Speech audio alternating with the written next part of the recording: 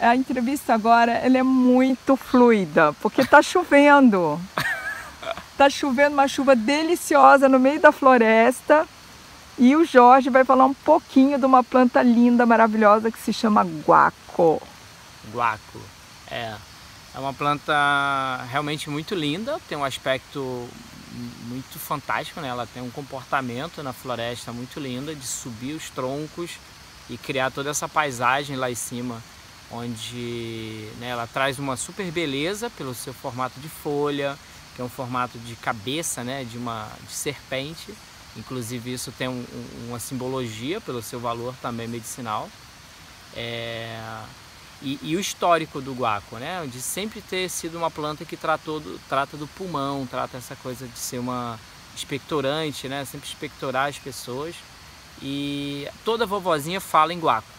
Todas as pessoas falam em guaco. Teve tosse, teve uma criança com resfriado, toma guaco. E na minha família sempre foi muito comum a gente ter pé de guaco. Hoje eu faço cerca viva de guaco. As pessoas estão começando a plantar isso para fazer cerca viva, fazer pergolado com guaco. É uma planta super melífera, né? Para quem não sabe, melífera é uma planta que produz pólen e muito néctar. Ela é uma dessas, produz muito néctar. Então, um guaco florido, você sempre vai escutar um zum zum zum forte, são as abelhas retirando o néctar. E é claro, o néctar retirado dela, junto com o mel das abelhas, isso seria um medicamento poderoso, né? Se você conseguir ter mel exclusivamente de guaco. Mas o guaco tem essas vantagens de ser uma planta fácil de reproduzir, então daríamos para fazer plantio em larga escala de guaco. É uma planta é, já reconhecida né, pelo Ministério da Saúde, então você pode plantar ele em hortas é, de postos de saúde, porque já é reconhecida.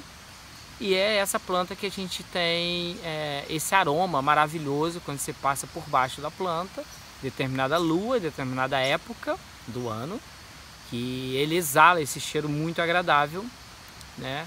E, e é isso, é, para mim é um super encanto, sempre é um baita xarope, um baita chazinho, pode ser batido também como suco verde. Eu ainda não fiz nada, não sei nada sobre a parte gastronômica, mas como chá e como suco é maravilhoso. E para bala, né? é bala de bala guaco, de guaco é nossa. é maravilhoso. Então, nós fazemos várias coisas e tudo isso vai estar aqui no rodapé do nosso vídeo. Aguarde. Arro! Arro.